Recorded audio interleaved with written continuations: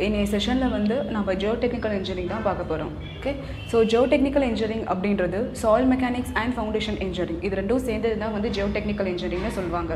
Okay so soil mechanics மட்டுமே Jio technical ஆரல்ஸ் foundation மட்டுமே Jio technical இன்ஜினியரிங்னு சொல்லக்கூடாது. ஏன் பார்த்தீங்க அப்படின்னா ஸோ சாயில் மெக்கானிக்ஸை நம்ம என்ன ஸ்டடி பண்ணுவோம் அப்படின்னா சாயிலோட ப்ராப்பர்ட்டிஸ் எல்லாத்தையுமே வந்து நம்ம ஸ்டடி பண்ணிவிட்டு ஸோ அதனோட டேட்டாஸ் அண்ட் அனாலிசிஸை நம்ம எடுத்துகிட்டு போயிட்டு ஃபவுண்டேஷன் இன்ஜினியரிங்கில் யூஸ் பண்ணுவோம். ஓகே ஸோ அந்த டேட்டா ஐடியாஸை யூஸ் பண்ணி தான் அங்கே என்ன டைப் ஆஃப் ஃபவுண்டேஷன் நீங்கள் போகலாம் size of the foundation so நீங்கள் ப்ளேஸ் பண்ணுற இடத்துல சாயிலோட பேரிங் கெப்பாசிட்டி எவ்வளோ இருக்குது அதனோட செட்டில்மெண்ட் அதை பற்றி எல்லாமே நம்ம ஃபவுண்டேஷன் இன்ஜினியரிங்கில் ஸ்டடி பண்ணுவோம். ஸோ அதனால் சால் மெக்கானிக் நீங்கள் காலேஜ் படிக்கும்போது கூட பார்த்தீங்க அப்படின்னா ஸோ ஃபஸ்ட்டு சால் மெக்கானிக்ஸ் தான் படிச்சிருப்பீங்க. ஸோ அதனோட ஃபாலோயிங் செமஸ்டரில் தான் நீங்கள் ஃபவுண்டேஷன் இன்ஜினியரிங் வந்து ஸ்டடி பண்ணியிருப்பீங்க ஏன் அப்படின்னா என்னோட டேட்டாஸை அதில் யூஸ் பண்ணி தான் நம்ம படிப்போம். ஸோ இதனால தான் வந்து சால் மெக்கானிக்ஸ் அண்ட் ஃபவுண்டேஷன் இன்ஜினியரிங் இது ரெண்டுமே சேர்ந்தது ஜோ டெக்னிக்கல் இன்ஜினியரிங் அப்படின்னு சொல்லுவாங்க. ஓகே ஸோ இன்னைய செஷனில் வந்து நம்ம சால் மெக்கானிக்ஸ் பற்றி ஃபுல்லாக ஸ்டடி பண்ணலாம். ஒரு ஓவர்வியூ விச் இன்ட்ரடக்ஷன் வந்து பண்ணலாம். ஸோ ஃபவுண்டேஷன் இன்ஜினியரிங் வந்து நம்ம நெக்ஸ்ட் வீடியோவில் பார்க்கலாம். Soil mechanics what is mean by soil mechanics first soil அப்படின்னா என்ன? சாயில் வந்து பார்த்தீங்க அப்படின்னா டிஃப்ரெண்ட் ஃபீல்டில் வந்து பார்த்தீங்க அப்படின்னா சாயிலை வந்து டிஃப்ரெண்ட் டிஃப்ரெண்ட்டாக டிஃபைன் பண்ணுவாங்க. ஒரு எக்ஸாம்பிள் ஒரு ஃபார்மர் பாயிண்ட் ஆஃப் வியூவில் பார்த்தீங்க அப்படின்னா சாயில் வந்து it is a just material to grow crops அப்படின்னு சொல்லுவாங்க. ஸோ ஆர்காலஜி பாயிண்ட் ஆஃப் வியூவில் சாயிலை வந்து வேறு மாதிரி டிஃபைன் பண்ணுவாங்க.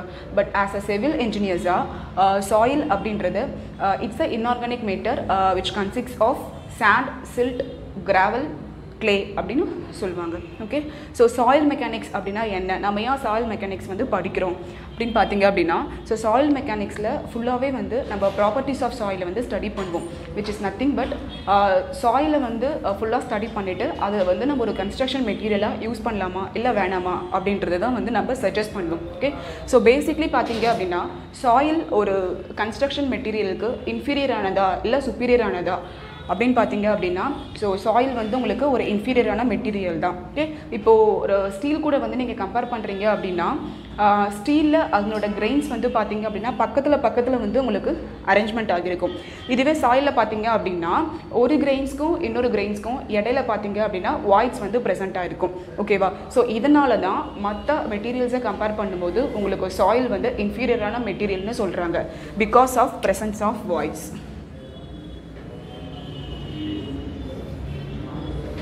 so இந்த வாய்ஸ் தான் வந்து நமக்கு வந்து ப்ராப்ளமே சாயிலில் வந்து ப்ரெசென்ட் ஆகிருக்கிறதுனால தான் என்னோட யூனிட் வெயிட்டும் பார்த்தீங்க அப்படின்னா நமக்கு கம்மியாக இருக்குது ஓகேவா ஸோ ஒரு இன்ஜினியர்ஸ் வந்து பார்த்தீங்க அப்படின்னா நம்ம அதை சால்வ் பண்ணணும். ஸோ இந்த வாய்ட்ஸை நம்ம ரிமூவ் பண்ணிட்டோம் அப்படின்னா சாயிலுடைய கிரைன்ஸ் வந்து பக்கத்தில் பக்கம் வந்து அரேஞ்ச்மெண்ட் ஆகி கண்டிப்பாக அதனோட யூனிட் வெயிட் ஆஃப் சாயில் வந்து இன்க்ரீஸ் ஆகும்.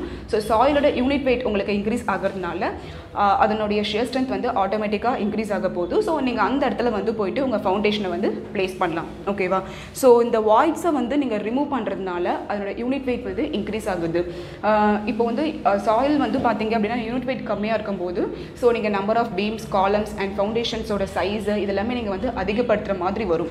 ஓகே ஸோ இதுவே நீங்கள் வச்சு வாய்ஸை ரிமூவ் பண்ணிட்டீங்க அப்படின்னா கண்டிப்பாக என்னோட யூனிட் வெயிட் வந்து இன்க்ரீஸ் ஆக போகுது. ஸோ நீங்கள் நம்பர் ஆஃப் காலம்ஸ் பீம்ஸ் இதெல்லாம் வந்து நீங்கள் குறைச்சிக்கலாம். ஸோ அதனால் உங்களோட ஸ்ட்ரக்சர் வந்து ரொம்ப எக்கனாமியாக வந்து இருக்கும். ஓகேவா ஸோ நம்மளுடைய கிரேட்டஸ்ட் ப்ராப்ளம் என்ன அப்படின்னா வந்து வாய்ஸ் தான்.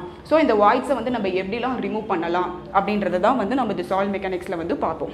ஓகேவா ஸோ சாயில் மெக்கானிக்ஸ்க்கு என்னென்ன சாப்டர்ஸ்லாம் இருக்குது அதனோட இன்ட்ரடக்ஷன் பற்றி நான் இப்போ உங்களுக்கு கொடுக்க போகிறேன் ஓகே ஸோ சாயில் மெக்கானிக்ஸில் வந்து பார்த்தீங்க அப்படின்னா ஃபஸ்ட்டு டாபிக் வந்து properties of soil okay so properties of soil அப்படின்றது சாயில் மாஸ் அப்படின்னு பார்த்தீங்க அப்படின்னா அதில் வந்து உங்களுக்கு சாயில் சாயில் மாஸில் பார்த்தீங்கன்னா உங்களுக்கு சாலிட்ஸ் ப்ரெசென்ட்டாக இருக்கும். இன்னொன்று பார்த்தீங்க அப்படின்னா வாய்ஸ் வந்து ப்ரெசென்ட்டாக இருக்கும். ஸோ ஒரு ஒரு சாயில் சாம்பிள் எடுத்துக்கிட்டிங்க அப்படின்னா it comprises of solids plus voids okay so இந்த சாயில் கிரெயின்ஸ்க்கு இடையில உங்களுக்கு வாய்ட்ஸ் ப்ரெசென்ட்டாக இருக்குது அப்படின்னா அந்த வாய்ட்ஸை எய்தர் உங்களுக்கு ஹேர் ஆக்குப்பை பண்ணியிருக்கும் அப்படி இல்லைன்னா வாட்டர் தான் கண்டிப்பாக ஆக்குப்பை பண்ணியிருக்க போதும் ஓகே ஸோ இந்த சாயில் மாஸில் உங்களுக்கு எவ்வளோ வால்யூம் ஆஃப் ஏர் ஆக்குப்பை பண்ணியிருக்கு எவ்வளோ வால்யூம் ஆஃப் வாட்டர் ஆக்குப்பை பண்ணியிருக்கு ஸோ அப்படின்றது எல்லாமே வந்து நீங்கள் ப்ராப்பர்ட்டிஸ் ஆஃப் சாயிலில் பார்ப்பீங்க. இட் இஸ் நத்திங் பட் ஒரு சாயில் சாம்பிளில் எவ்வளோ பர்சன்டேஜ் வாய்ஸ் ப்ரெசென்ட் ஆயிருக்கு. அந்த பர்சன்டேஜ் ஆஃப் வாய்ஸில் எவ்வளோ percentage of air voids present ஆயிருக்கு. எவ்வளோ பர்சன்டேஜ் ஆஃப் வாட்டர் வாய்ஸ் வந்து ப்ரெசென்ட்டாக இருக்குது ஸோ வாட்டர் வாய்ஸை தான் வந்து டிகிரி ஆஃப் சேச்சுரேஷனில் வந்து எக்ஸ்பிரஸ் பண்ணுவாங்க. ஸோ ஏர் வாய்ஸை வந்து ஏர் கண்டென்ட் அப்படின்னு எக்ஸ்பிரஸ் பண்ணுவாங்க.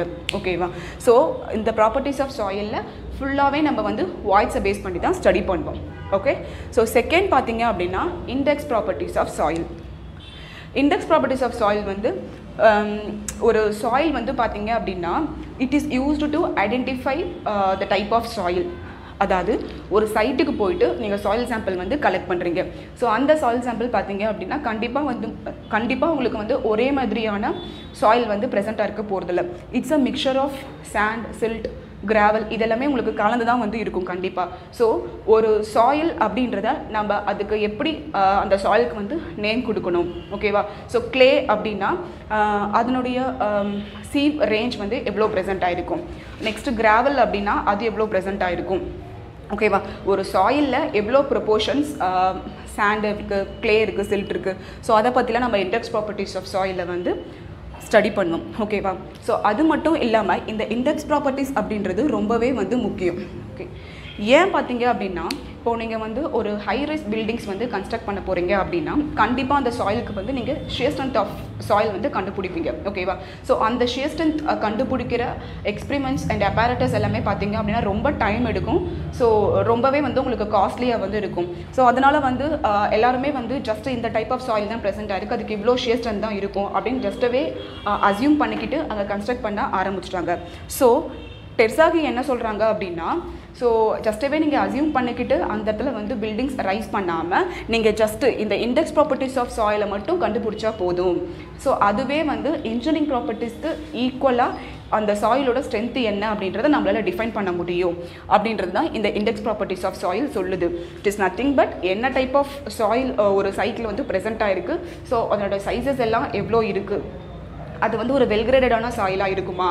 ஸோ அதை வந்து நம்ம கன்ஸ்ட்ரக்ஷன் மெட்டீரியலுக்கு ஃபிட் பண்ணலாமா? அப்படின்றது தான் இண்டெக்ஸ் ப்ராப்பர்ட்டிஸ் ஆஃப் சாயிலில் நம்ம ஸ்டடி பண்ணுவோம் ஓகே ஸோ நெக்ஸ்ட் வந்து classification of soil so classification of soil is nothing but soil வந்து உங்களுக்கு மிக்சராக ப்ரெசென்ட்டாக இருக்கிறதுனால அந்த சாயிலுக்கு நீங்கள் ஒரு நேம் கொடுங்க அப்படின்னா ஸோ அந்த சாயிலில் பார்த்தீங்க அப்படின்னா சம் ப்ரொபோர்ஷன்ஸ் உங்களுக்கு சாண்ட் இருக்க போது சம் ப்ரொபோர்ஷன்ஸ் உங்களுக்கு எய்தர் க்ளே இல்லை கிராவல் எது வேணாலும் ப்ரெசென்ட்டாக இருக்கலாம் ஓகேவா பட் அதுக்கு நீங்கள் ஒரே சிம்பிளாக வந்து டிஃபைன் பண்ணணும். அந்த சாயிலுக்கு ஒரே நேம் தான் கொடுக்கணும் அப்படின்னா ஸோ நீங்கள் எந்த மாதிரி அந்த சாயிலுக்கு வந்து நேம் கொடுப்பீங்க அப்படின்றது classification of soil okay so next பார்த்தீங்க அப்படின்னா பர்மபிலிட்டி ஆஃப் சாயில் பர்மபிலிட்டி அப்படின்றது it is also a property of soil which allows water to pass through it which is nothing but ஒரு ஒரு சாயில் சாண்ட் கிராவலுக்கு வந்து uh, எவ்- uh, அதனோட nature base பண்ணி எவ்வளோ அமௌண்ட் ஆஃப் வாட்டரை வந்து அலோ பண்ணும்.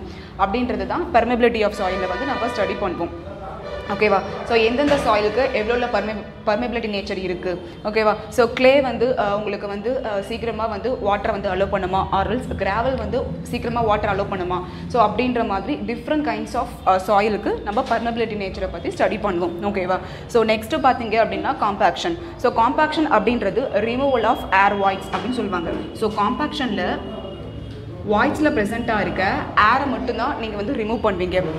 ஓகேவா ஸோ எவ்வளோ காம்பாக்ஷன் எஃபோர்ட் வந்து நம்ம பேஸ் பண்ணி காம்பாக்ஷன் வந்து பண்ணுவோம் அப்படின்றத தான் காம்பாக்ஷனில் வந்து ஸ்டடி பண்ணுவோம். ஓகே ஸோ நெக்ஸ்ட்டு பார்த்தீங்க அப்படின்னா effective stress distribution in soil which is nothing but ஒரு கிரவுண்ட் லெவலுக்கு மேலே நீங்கள் ஒரு லோட் வந்து ப்ளேஸ் பண்ணும்போது கண்டிப்பாக அந்த லோடை வந்து எய்தர் உங்களுக்கு வந்து சாலிட்ஸ் எடுக்க போகுது அப்படி இல்லைனா வந்து வாய்ஸ் தான் வந்து எடுக்க போகுது. ஸோ வாய்ஸில் பார்த்தீங்க அப்படின்னா கண்டிப்பாக ஏர் வந்து ஒரு வெயிட்லெஸ்ஸான மீடியம் ஸோ ஏர் வந்து உங்களுக்கு எந்த ஒரு லோடையுமே வந்து எடுக்க போகிறதில்ல பட் வாட் வாட்டர் வந்து பார்த்தீங்க வாட்டர் வந்து பார்த்தீங்க அப்படின்னா உங்களுக்கு வந்து லோட் எடுக்கும். ஓகேவா ஸோ சாலிட்ஸ் வந்து ஃபஸ்ட்டு உங்களுக்கு வந்து லோட் எடுக்க போகுது. ஆர்எல்ஸ் வாட்டர் வந்து ஃபஸ்ட்டு லோட் எடுக்குமா? ஓகேவா ஸோ லோட் ப்ளேஸ் பண்ணும்போது சாலிட் ஆர் வாட்டர் லோட் வந்து உங்களுக்கு வந்து எடுக்க போதா? அப்படின்றது தான் வந்து எஃபெக்டிவ் ஸ்ட்ரெஸ் டிஸ்ட்ரிபியூஷனில் வந்து நீங்கள் ஸ்டடி பண்ணுவீங்க.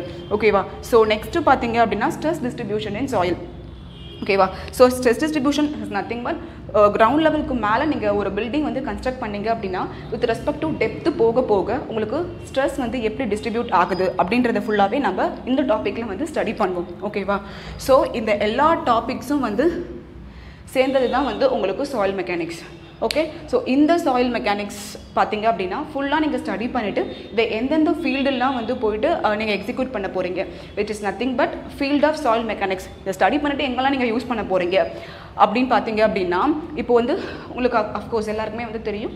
ஒரு ஃபவுண்டேஷன் வந்து நீங்கள் டிசைன் பண்ண போகிறீங்க அப்படின்னா கண்டிப்பாக உங்களுக்கு சால் மெக்கானிக்ஸை பற்றின டேட்டாஸ்லாம் உங்களுக்கு வந்து தேவைப்படுது. ஸோ நம்பர் ஒன் பார்த்தீங்க அப்படின்னா ஒரு ஃபவுண்டேஷன் டிசைனுக்கு உங்களுக்கு சால் மெக்கானிக்ஸ் வந்து தேவை ஓகேவா ஸோ அதுக்கு என்னென்ன தேவை அப்படின்னா சாயிலில் ஃபஸ்ட்டு எவ்வளோ அமௌண்ட் ஆஃப் வாய்ஸ் ப்ரெசென்ட் ஆயிருக்கு? அப்படி இல்லைன்னா நீங்கள் ஒரு ஃபவுண்டேஷன் ப்ளேஸ் பண்ண போகிறீங்க அப் அப்படின்னா அங்கே என்ன டைப் ஆஃப் சாயில் ப்ரெசென்ட் ஆயிருக்கு? ஸோ என்ன டைப் ஆஃப் சாயில் அப்படின்னு தெரிஞ்சால் தான் நீங்கள் அங்கே வந்து என்ன டைப் ஆஃப் ஃபவுண்டேஷன் அப்படின்றதே சஜஸ்ட் பண்ண முடியும். ஸோ அது எல்லாமே பார்த்தீங்க அப்படின்னா அந்த ப்ராப்பர்ட்டிஸ் ஆஃப் சாயில் கண்டிப்பாக நீங்கள் அதுக்கு தெரிஞ்சிருக்கணும். இண்டெக்ஸ் ப்ராப்பர்ட்டிஸ் ஆஃப் சாயில் உங்களுக்கு தெரிஞ்சிருக்கணும். சாயிலோட கிளாஸிஃபிகேஷன் இது மூணுமே கண்டிப்பாக ரொம்ப நெசசரி உங்களுடைய ஃபவுண்டேஷனை வந்து நீங்கள் டிசைன் பண்ணுறதுக்கு ஓகே ஸோ நெக்ஸ்ட்டு பார்த்தீங்க அப்படின்னா பர்மேபிலிட்டி ஸோ பர்மேபிலிட்டி எந்த மாதிரியான ஃபீல்டில் வந்து யூஸ் ஆகும்னு பார்த்தீங்க அப்படின்னா சாயிலை மட்டுமே ஒரு சில இடத்துல வந்து நீங்கள் கன்ஸ்ட்ரக்ஷன் மெட்டீரியலாகவே use பண்ணிப்பீங்க. For example earthen dam so earthen டேமில் பார்த்தீங்க அப்படின்னா உங்களுக்கு ஃபுல்லாகவே வந்து ஸோ இங்கே ஃபுல்லாகவே வந்து நீங்கள் சாயில் தான் வந்து ஒரு மெட்டீரியலாகவே வந்து யூஸ் பண்ணியிருப்பீங்க ஓகேவா ஸோ இங்கே ப்ரெசென்ட்டாக இருக்க ஸோ இந்த டேமோட ஒர்க்கே என்ன பார்த்தீங்க அப்படின்னா இந்த வாட்டரை வந்து ஃபுல்லாகவே வந்து சேவ் பண்ணி வைக்கிறது தான். ஸோ நீங்கள் இங்கே சாயில் வந்து யூஸ் பண்ணுறதுனால கண்டிப்பாக சா சாலிட்ஸ்க்கு இடையில உங்களுக்கு கண்டிப்பாக வாய்ஸ் ப்ரெசென்ட்டாக இருக்க போது இந்த வாய்ஸ் வழியாக உங்களுக்கு வாட்டர் வந்து ட்ராவல் ஆகி கண்டிப்பாக அந்த சைடில் வந்து போயிடும். ஓகேவா ஸோ கடைசி பார்த்தீங்க அப்படின்னா இந்த டேம் வந்து அதோட பர்பஸையே வந்து சர்வ் பண்ணல விச் இஸ் நத்திங் பட் வாட்டரையே வந்து அது சேவ் பண்ணி வைக்காமல் ஸோ இந்த சைடில் வந்து ஸோ டியூ டு ஹெட் டிஃப்ரென்ஸால் ஈஸியாக வந்து பெனட்ரேட் ஆகி உங்களுக்கு அங்கே போயிடும். ஓகேவா ஸோ அதுதான் வந்து பர்மேபிலிட்டி அப்படின்னு சொல்லுவாங்க. ஸோ இந்த இடத்துல நமக்கு பெர்மேபிலிட்டி நடக்கக்கூடாது which is nothing but so எந்த சாயிலுக்கு வந்து பர்மேபிலிட்டி இருக்கிறதுலே ரொம்ப கம்மியாக இருக்கும் ஸோ அந்த டைப் ஆஃப் சாயில்ஸை தான் வந்து நீங்கள் இங்கே ஃபுல்லாக வந்து யூஸ் பண்ண போகிறீங்க ஓகேவா ஸோ இந்த எர்த்தன் டேமில் உங்களுக்கு பர்மேபிலிட்டி அப்படின்றது ரொம்ப முக்கியமான ஒரு க்ரைட்டீரியா ஓகேவா ஸோ இதை நீங்கள் சாயில் மெக்கானிக்ஸில் பர்மபிலிட்டிக்கு வந்து ரொம்ப வெயிட்டேஜ் கொடுத்து நீங்கள் ஸ்டடி பண்ணணும். ஓகேவா ஸோ நெக்ஸ்ட்டு பார்த்தீங்கன்னா காம்பாக்ஷன் ஸோ காம்பாக்ஷன் எங்கே யூஸ் ஆகும் பார்த்தீங்க அப்படின்னா ஹைவே ஓகேவா ஸோ ஹைவே வந்து பார்த்தீங்க அப்படின்னா ஒரு எக்ஸிஸ்டிங் சப்கிரேட்க்கு மேலே தான் வந்து நீங்கள் டைப்ஸ் ஆஃப் பேமெண்ட் வந்து போக போகிறீங்க ஸோ பேமெண்ட் வந்து எதர் உங்களுக்கு ரிஜிட் பேமெண்ட்டாக இருக்கலாம் ஆர் எஸ் ஃப்ளெக்சிபிள் பேமெண்ட்டாக இருக்கலாம். ஸோ வாட் எவர் மேபி உங்களுடைய லோட் வந்து பார்த்தீங்க அப்படின்னா வெஹிக்கிள்ஸோட லோட் வந்து பார்த்தீங்க அப்படின்னா ஸோ உங்களுடைய ச சப்கிரேட் கிரேட் வழியாக தான் உங்களுக்கு ட்ராவல் ஆகி ஸோ எர்த்துக்கு வந்து டிஸ்ட்ரிபியூட் ஆக போகுது.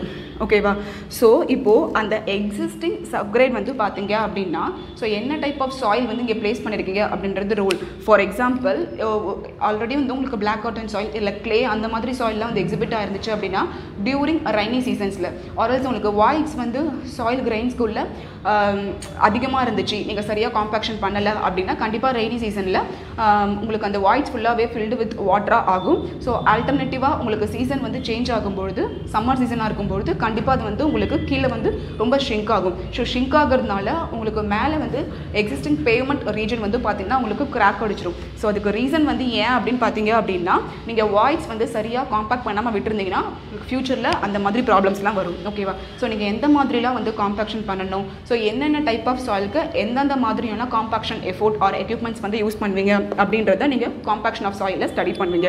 ஓகேவா ஸோ நெக்ஸ்ட்டு பார்த்தீங்க அப்படின்னா எஃபெக்டிவ் ஸ்ட்ரெஸ் டிஸ்ட்ரிபியூஷன் ஸோ இது வந்து எந்த ஃபீல்டில் வந்து உங்களுக்கு யூஸ் ஆகும் அப்படின்னா ஒரு வாட்டர் ப்ரெசென்ட்டாக இருக்க இடத்துல வந்து நீங்கள் ஒரு ஸ்ட்ரக்சர்ஸ்லாம் வந்து கன்ஸ்ட்ரக்ட் பண்ண போகிறீங்க அப்படின்னா ஸோ அந்த இடத்துல வந்து உங்களுக்கு எஃபெக்டிவ் ஸ்ட்ரெஸ் டிஸ்ட்ரிபியூஷன் ரொம்ப யூஸ்ஃபுல்லாகவே இருக்கும். ஓகேவா ஸோ அதுக்காக தான் இந்த டாபிக் வந்து நீங்கள் மெயினாக வந்து சால் மெக்கானிக்ஸில் படிப்பீங்க. ஓகேவா ஸோ நெக்ஸ்ட்டு பார்த்தீங்கன்னா ஸ்ட்ரெஸ் டிஸ்ட்ரிபியூஷன் இந்த டிஸ்ட்ரிபியூஷன் வந்து எந்த ஃபீல்டில் யூஸ் ஆகும்னு பார்த்தீங்க அப்படின்னா ஒரு பில்டிங் இருக்குது ஸோ அது பக்கத்தில் வந்து நீங்கள் இன்னொரு பில்டிங் வந்து கன்ஸ்ட்ரக்ட் பண்ண போகிறீங்க அப்படின்னா ஸோ ரெண்டு பில்டிங்க்கும் இடையில நீங்கள் எவ்வளோ அமௌண்ட் ஆஃப் செட் பேக் வந்து அலோவ் பண்ணணும். ஏன் அப்படின்னா எக்ஸிஸ்டிங் ஃபவுண்டேஷன் கிட்ட ஸோ நீங்கள் நியூ நியூவாக கன்ஸ்ட்ரக்ட் பண்ணுற ஃபவுண்டேஷனுடைய ஸ்ட்ரெஸ்ஸு வந்து லோட் நீங்கள் கொடுக்க கொடுக்க ஸ்ட்ரெஸ்ஸு வந்து உங்களுக்கு ஓவர்லேப் ஆகலாம். ஸோ அப்படி ஓவர்லேப் ஆகாமல் இருக்கிறதுக்கு நீங்கள் எவ்வளோ செட்பேக் வந்து அலோவ் பண்ணுவீங்க? அப்படி இல்லைனா அப்படின்னு பார்த்தீங்க அப்படின்னா ரயில்வே லைன்ஸ்க்கு வந்து ஒரு ரயில்வே லைன்ஸ்க்கும் அடுத்த ரயில்வே லைன்ஸ்க்கும் இடையில எவ்வளோ ஸ்பேசிங் வந்து நீங்கள் விடலாம் அப்படின்றத எல்லாமே வந்து ஸ்ட்ரெஸ் டிஸ்ட்ரிபியூஷன் இன் சாயிலில் வந்து நீங்கள் ஸ்டடி பண்ணுவீங்க. ஓகேவா ஸோ இந்த சாயில் மெக்கானிக்ஸ் அப்படின்னு பார்த்தீங்க அப்படின்னா டிஃப்ரெண்ட் ஃபீல்டில் வந்து உங்களுக்கு யூஸ் ஆகிறதுனால தான் இந்த எல்லா சாப்டர்ஸுமே வந்து நீங்கள் ஸ்டடி பண்ணுறீங்க ஸோ ஒவ்வொரு டாப்பிக்குமே வந்து ரொம்ப முக்கியம். ஸோ நல்லா அண்டர்ஸ்டாண்ட் பண்ணிவிட்டு படிங்க. தேங்க்ஸ் ஃபார் வாட்சிங்